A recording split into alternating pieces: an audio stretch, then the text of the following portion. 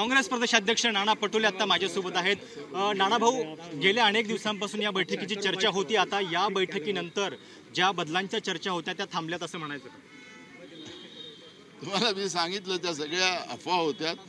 अफवाला आता पुरवणं लागलेलं. लोकसभेच्या तयारीला सांगा असं पक्षानं सांगितलेलं आहे. ही सगळी तयारी तुमच्या नेतृत्वात होणार आता?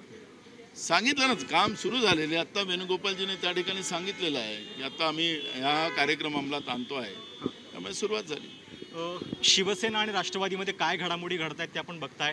काँग्रेसमध्ये पण एक अशी चर्चा होती की काँग्रेस पण आता फुटणार का? त्या दृष्टीने तुम्हाला किती विश्वास आहे प- पक्षाच्या बाबतीत? आज आपण इथं सगळी नेते आलेली होती. त्याच्यामुळे हा सगळ्या गोष्टीला पूर्वविराम आहे. भाजप मुद्दामून जाणून बुजून जनतेच्या मूळ मुद्द्याला डायव्हर्ट करण्यासाठी या पद्धतीचे इशू आणतात आहेत. त्यांना म्हणा शेतकऱ्यांचा इशू घ्या. गरिबांच्या इश्यूवर बोला बेरोजगारांच्या इश्यूवर महागाईवर बोला पण ते त्याच्यावर नाही. आता आमचं एन सी पी तोडली आता शिवसेना तोडली आता काँग्रेस काँग्रेस तुटणार नाही. नाना भाऊ लोकमान्य टिळकांच्या नावाचा पुरस्कार मोदींना दिला जातोय पुण्यात आणि त्या कार्यक्रमासाठी शरद पवारांनी मध्यस्थी केली. काय आपली प्रतिक्रिया?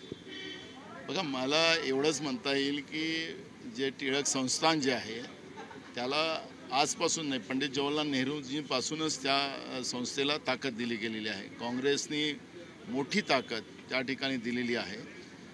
आज कुठल्या आधारावर देतात तो त्यांचा इश्यू आहे. संस्थेच्या मालकांचा तो इश्यू आहे. पण खरं तर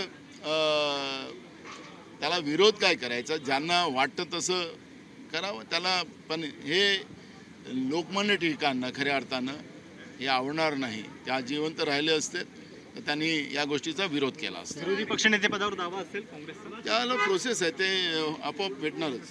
तर हे होते नाना पटोले काँग्रेसचे प्रदेशाध्यक्ष. आणि ते स्पष्टपणे सांगतायत की ज्या चर्चा सुरू होत्या बदलाच्या त्या म्हणजे सगळ्या अफवा आहेत. कॅमेरामॅन अजयसह प्रशांत कदम एबीपी माझा नवी दिल्ली. एबीपी माझा. उघडा डोळे बघा नीट.